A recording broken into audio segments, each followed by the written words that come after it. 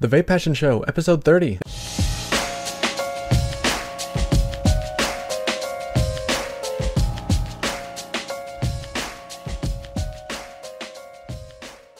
Hey guys, welcome back to the Vape Passion Show. This is episode 30. I'm recording this on Friday, August 19th, uh, a little bit earlier than usual. I usually try and record on Saturday e- evening or Sunday, just in case any news stories come in, but I have to record a little earlier this time because this weekend I'm going to my sister in law's house. Um, we'll be staying there for the weekend, and I won't have the ability to record or read much news over the weekend. So, but it should be a lot of fun because she just recently bought uh, a pretty expensive VR system. I think it's on her computer, so that should be a lot of fun. As for any new products that I've gotten in, I only got one thing in, and uh, this is from Strawberry Queen. Really nice packaging. I've actually tried this stuff at a convention that I went to a few months ago, and the packaging is is great. It comes in like a strawberry container. It's got a net here. Ah, it smells good. I, I at the convention I tried this at. I loved it. Every single one of their flavors. They have four flavors, and all four of them are strawberry flavors, and uh, different variations of strawberry, and they're just really good. And uh, uh, reached out to them and asked if I could do this, do a review for them. And uh, the owner she agreed, so she sent me over these bottles, and I haven't had a chance to to do a review for them yet, but I I really can't wait. Also, I I've had a chance to review two of the three bottles that G Vapor sent me, and uh, these guys are a budget brand, and I've really liked them. Uh, the two that I've tried so far are really, really good. So I'm excited to try this last one here. It's blackberry yogurt. I've been saving it for last because I really like yogurt flavors, and I always save the best for last. So I can't wait to do that one. And really, that's it for me. So let's just get right into the news. So the first story I want to talk about here is he's a reviewer named Zach, goes by Vaping Moderation on YouTube and he lives in Louisiana. If you don't know, they had some major flooding, and I think something like 40,000 people are now out of their homes. He was one of those people who lost their homes. It was totally flooded, and he mentions in his video that he actually does have flood insurance, which is great because I was reading something like 42% of people in Louisiana don't have flood insurance.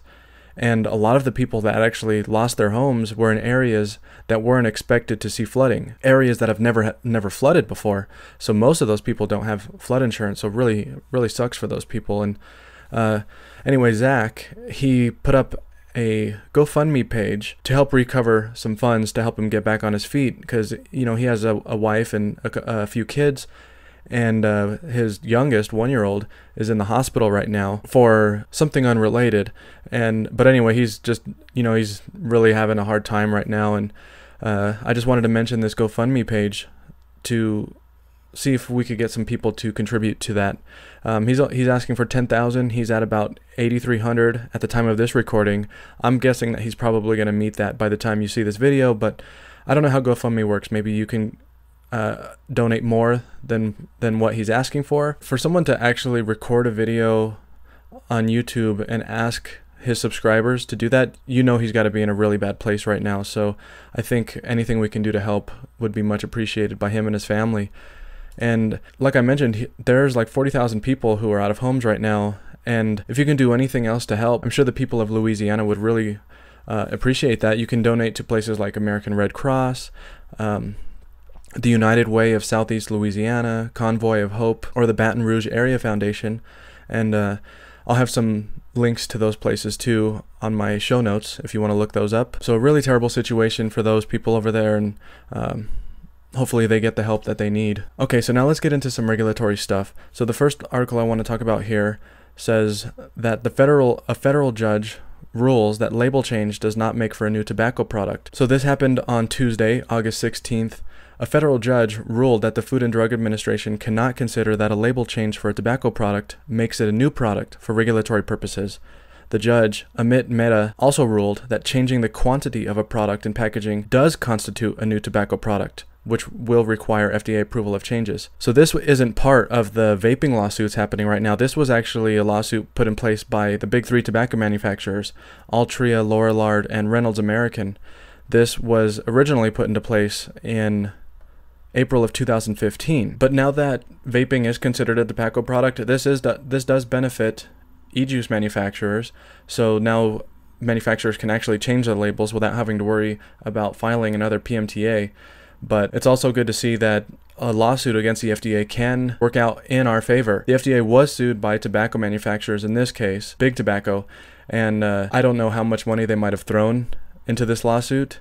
I don't know if uh, the vaping industry has that kind of money. Hopefully they do. Most likely they don't, but hopefully the lawsuits happening right now will be favorable like this one is. And while we're on the subject of the lawsuits, the FDA lawsuits, I want to give a little bit of an update to the the big Right to Be Smoke Free Coalition lawsuit happening right now. The Court of Washington, D.C. gave the FDA until August 16th to respond to a statement made by NicoPure Labs and the Right to Be Smoke Free Coalition and they did. They responded with a 102 page document describing their position with regard to its deeming rules. This document contains arguments that the FDA considers relevant in this case. I'm looking at a, uh, an article from vapingpost.com and they list the summary. I haven't read it myself. It's uh, very long and I just don't have time to read it right now. Um, but the summary here says that the FDA's arguments are that e cigarettes and their components and parts are properly regulated under the Tobacco Control Act. The FDA rationally explained why it deemed e cigarettes subject to the Tobacco Control Act, and its decision is amply supported by the record. There is no basis to second guess the FDA's determination that the benefits of the deeming rule justify its cost. The FDA, in any event, fully complied with the Regulatory Flexibility Act. The Tobacco Control Act comports with substantive due process and the deeming rule is consistent with the First Amendment. So these are all things that the Right to Be Smoke Free Coalition and NicoPure said the FDA did not comply with. So basically, the FDA is saying that they did comply with it. A hearing is scheduled for October 19th at 10 a.m. at the District Court of Washington, D.C. So that's when we'll probably start getting a little bit more news on this lawsuit. All right, so now I want to talk a little bit more about the online age verification stuff happening. So, with the deeming regulations, I mentioned this in the last week's show, but all vendors now have to use age verification. Most people are using uh, three different services BlueCheck, Veratad, and EVS, which stands for, I, I, I, can't remember now, Electronic Verification Systems, something like that. Anyway, Vape Juice, they just sent me an email that mentioned that they, they were using BlueCheck and it doesn't work. In this email, they say that the technology doesn't quite seem to be there to fully support proper age verification techniques. BlueCheck doesn't offer any support options for vendors or consumers other than a ticket system, which doesn't appear to get checked. So after 72 hours of running BlueCheck, Vape Juice found that the BlueCheck plugin is easily bypassed by simply closing the plugin, allowing customers to check out without providing age verification. Customers over the age of 27 are still being prompted for photo identification, International customers are occasionally being prompted for photo identification. Verification time is supposed to be 20 seconds, however, some customers have reported having to wait up to 36 hours for SMS verification codes. There's no way to complete age verification without a mobile telephone, which many customers do not have. And for many customers, there are several assorted errors that prevent checkout, even after successfully completing the age verification process. They say here that the next largest age verification provider available only has a 60% match rate for age, age verification data.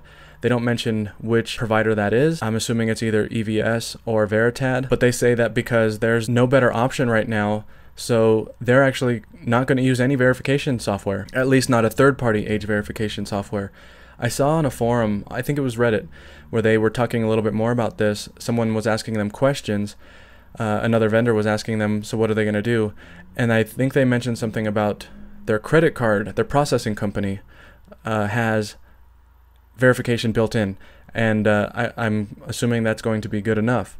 So yeah, so they're not going to use any third-party age verification. So, uh, really interesting to see Vape Juice's thoughts on that one. And another thing that the re- deeming regulations required, I believe it was the deeming regulations.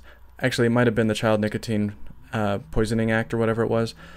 Anyway, FDA requirements for labeling now require that warnings on bottles be in a larger font size. I was listening to the Let's Vape podcast uh, with Vaping Vic and Joe Cloudy on iTunes and uh, Cloudy, he was mentioning that the new requirements require that labels now have a 12 point font, and 12 point font is actually very large. According to Cloudy, that would be about the size of a uh, or larger than the print you see in a newspaper. So if you can imagine trying to fit an entire nicotine warning on a, on a label, in in that large a font, an entire 15 mil bottle label would be a warning pretty much. So I would imagine that a lot of people are now going to stop making 15 mil bottles simply for that reason. One example is Level Up Vapor. They are now getting rid of all of their 15 mil bottles at a discount, a steep discount. They're probably probably going to be gone by the time you listen to this episode.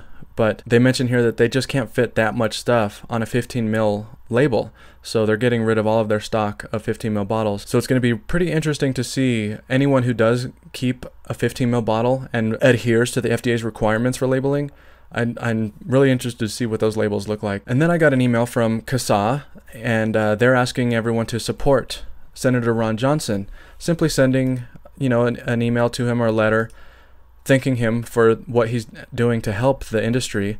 He, if you don't, if you haven't heard, he's been sending letters to the FDA requesting to see things like their calculations regarding the number of vapor businesses that would be forced to close as a result of the deeming rule, and other things like why they made the decisions that they did in those deeming regulations without really having much evidence behind it. So he's really been a, a big help to the to the everything going on with the vaping deeming regulations. If you live outside of Wisconsin, because that's where he is a senator, you have to write a letter by hand. If you live in Wisconsin, you can go to CASAA's website and simply send him an email through their system. But CASAA does have CASAA does have a pre-written letter that you can print out and send, and uh, they list his address here so you can send it to him. Okay, now some unfortunate news for people in the Navy.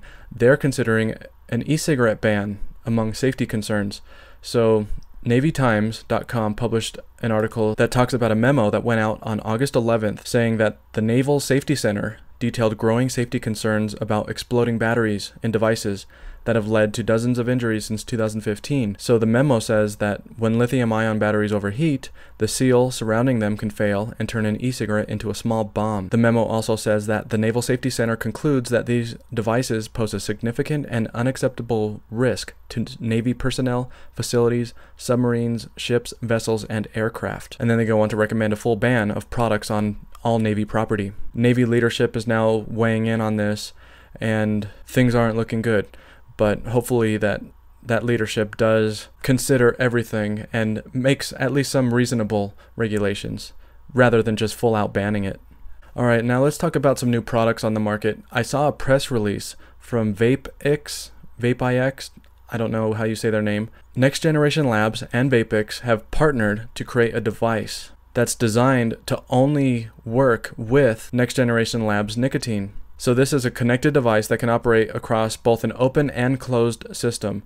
So somehow this system is going to be able to detect what kind of e-juice you're using. They say there's smart technology embedded in VapeX powered devices that will only work with TFN brands, TFN being a brand of Next Generation Labs. They're saying that this new product disassociates them from traditional vaping devices that are intended to be used with tobacco derived nicotine because Next Generation Labs TFN nicotine is a synthetic nicotine, not derived from tobacco. So these vaporizers will have technology embedded into the device and e-liquid labels and packaging, as well as an encoded cartridge chip technology that stores product file information to identify the type of liquid that can determine consumption and authenticate usage permissions. Once the device is enabled with an appropriate label, consumers are then given control via smartphone app, enabling customization of a variety of features from atomizer configuration, liquid consumption, puff rates and temperature readings, to product safety controls, haptic feedback, a device locator, and more. So that is a very crazy product. Personally, I'm not really a fan of it. I think it's just way too restrictive.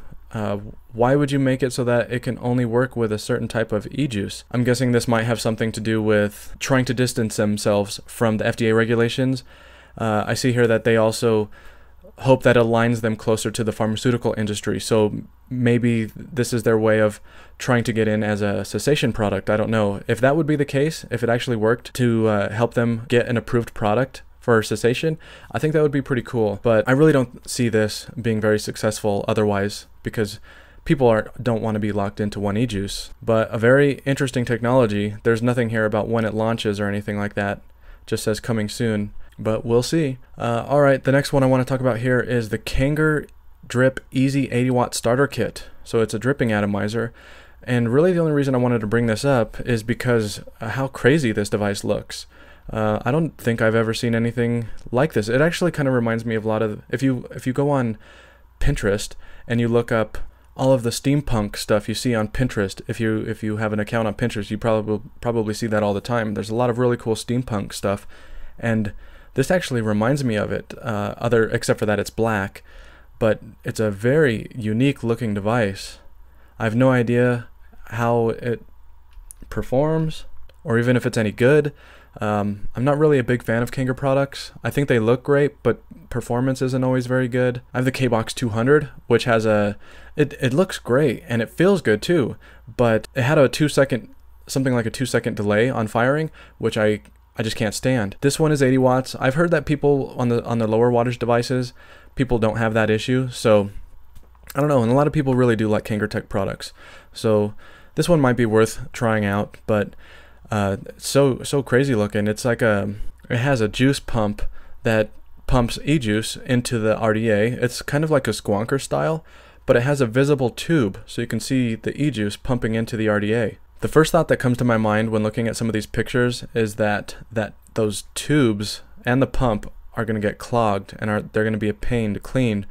But you know I, I can't say for sure. But to be honest i kind of want one because of just how cool it looks. You can get them for it looks like $55 so not too bad. And it says here that they're only on pre-order right now and they will be available in either black or silver and the estimated arrival date will be late August. All right, now let's talk about some health and research stuff. So this uh, next article I want to talk about is from oxfordjournals.org. This is a study titled Exposure to Nicotine and Selected Toxicants in Cigarette Smokers Who Switched to Electronic Cigarettes. So they measured 7 nicotine metabolites and 17 tobacco smoke exposure biomarkers in the urine samples of 20 smokers collected before and after switching to a pen style e cigarette for two weeks. These biomarkers were metabolites of 13 major carcinogens and toxicants in cigarette smoke. The results of that study showed that 45% of the participants reported complete abstinence from cigarette smoking at two weeks while 55% reported continuing smoking. Levels of total nicotine did not change after switching from tobacco to e cigarettes, but all other biomarkers significantly decreased after one week of using e cigarettes. So, from, from what we know about ingredients in electronic cigarettes, or, or in e-juice, nicotine really isn't a problem. It, it, there's nothing wrong with having nicotine in your system. It's pretty much unavoidable. Um, if you eat tomatoes or eggplant or anything like that, nicotine is in a lot of vegetables, nightshade plants. So there's nothing wrong with having nicotine in your system, but you do want to avoid the toxins that are in cigarettes, the carcinogenic ingredients. This study concluded that after switching from tobacco to e cigarettes, those carcinogens were substantially reduced. So, very good pro vaping study. All right, this next one I want to talk about is from Dr. Siegel on tobaccoanalysis.blogspot.com is titled John Hop- Johns Hopkins physician and vaping opponent urges parents to lie to their kids about the hazards of smoking. So a physician with John Hopkins All Children's Hospital published a post urging parents to downplay the hazards of smoking so that kids will think that vaping is just as dangerous as smoking. Some of the things that this post said were things like e-cigarettes may appear to be safer way to smoke, but they are just as dangerous for children.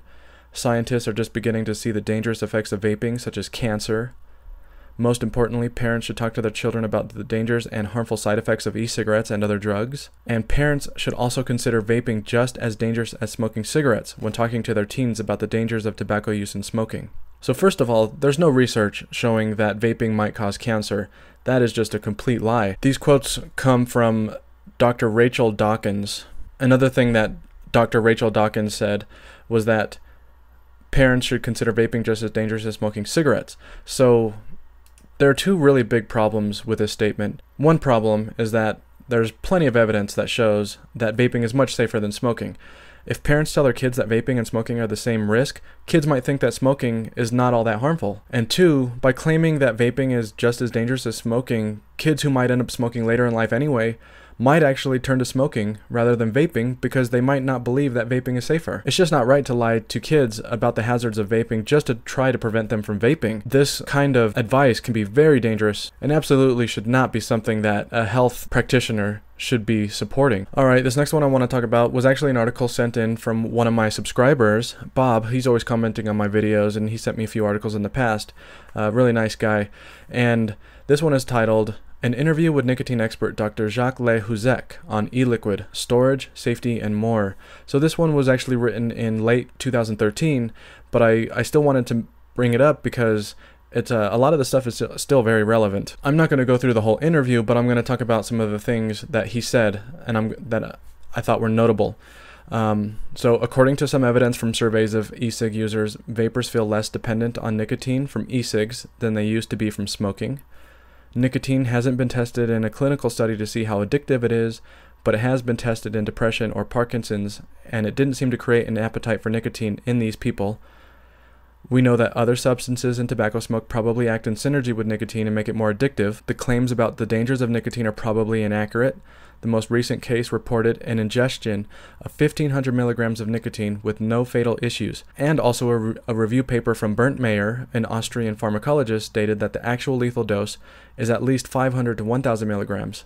When you inhale nicotine with cigarettes or e cigarettes, there's no concern of overdosing because smokers and vapers know when they've had enough. Nicotine itself is not causing harm. As for long term effects of inhaling it, we have not seen any adverse effects, but we do have some evidence from a study in rats that exposed them to pure nicotine inhalation for two years, which is equivalent to a human life. The results showed no adverse effects on any organ.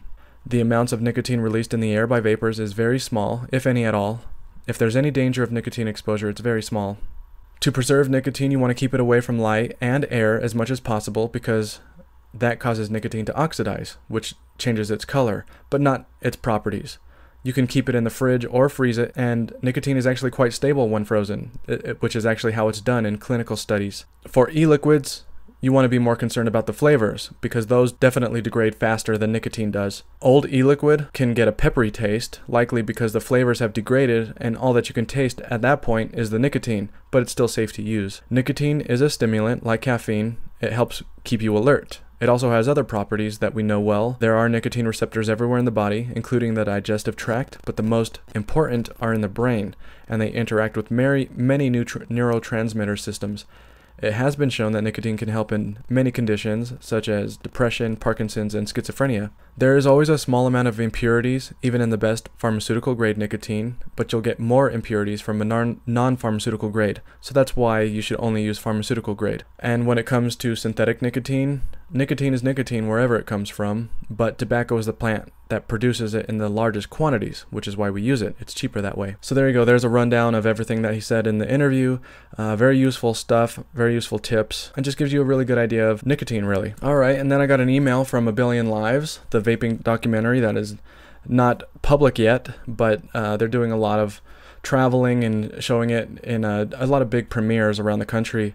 And they actually just did one recently, the first North American premiere, and Herman Cain showed up, the former presidential candidate for the Republican Party back in 2012. I didn't know this, but it turns out Herman Cain has a syndicated radio show that has approximately 6 million listeners, so that's pretty huge.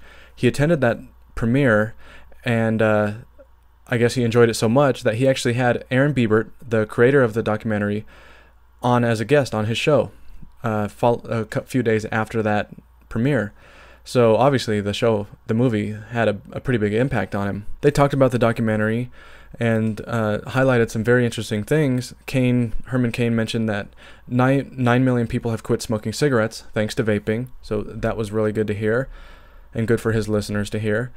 He also mentioned that in Great Britain, they say that e cigarettes are safe, yet here in the United States, the government says that they aren't, even though there's no research to back that up. Uh, Herman Cain mentioned that the FDA is hiding behind the excuse that they are more concerned about people getting hooked on tobacco-less nicotine, when that's not the problem. The problem is helping people to stop smoking. And Cain mentioned that this is another one of those big brother infringement things and that he's going to try to continue to, try to bring attention to the film. So that was really good news for for this documentary. Reaching 6 million people many of which probably know nothing about vaping i think that is huge. And in other news related to the film a billion lives made an announcement in their most recent email that they're accepting requests for special screenings. They're now saying that if there's enough interest in certain cities, they will do a special screening. Uh, you can submit your information on a form that they've provided. I'll have a link to that in the show notes. In order to get them to come to your city, they need to see they need to be able to sell at least 100 tickets. If you work with a group within your city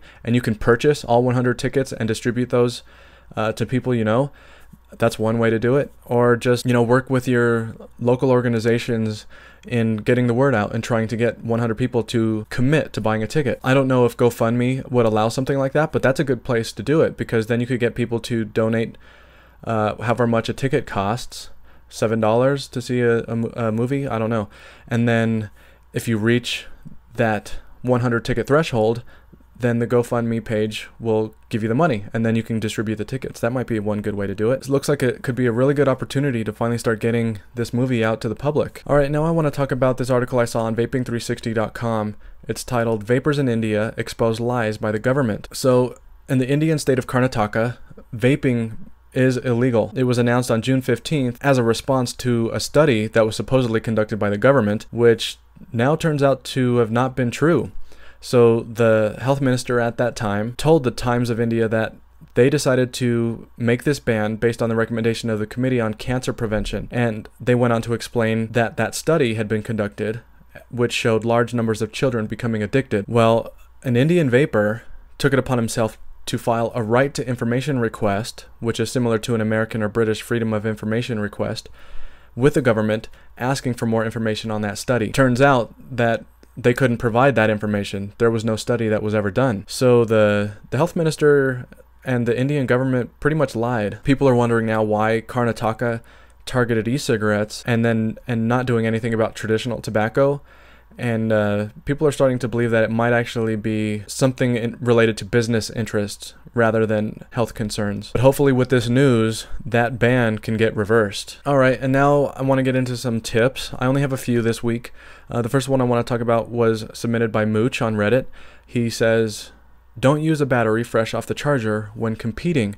So this is for those of you who are doing cloud competitions or you just want to blow huge clouds for whatever reason. So he says that if you want your battery to hit as hard as possible when in, a cloud comp, don't use it right off the charger. Take two to three five second pulls just before competing.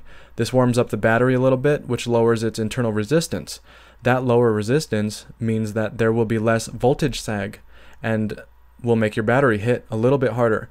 Not by much, but there is a, a difference. So you don't want to wait more than a minute or two after taking those warm up pulls, or your battery will have cooled off again. So he mentions here that some batteries re- respond better than others and have a greater change in the voltage sag, and some barely change at all. But he provided some graphs to show examples from several several batteries and they show that 5 second pulls at different discharge current levels show variations in voltage sag.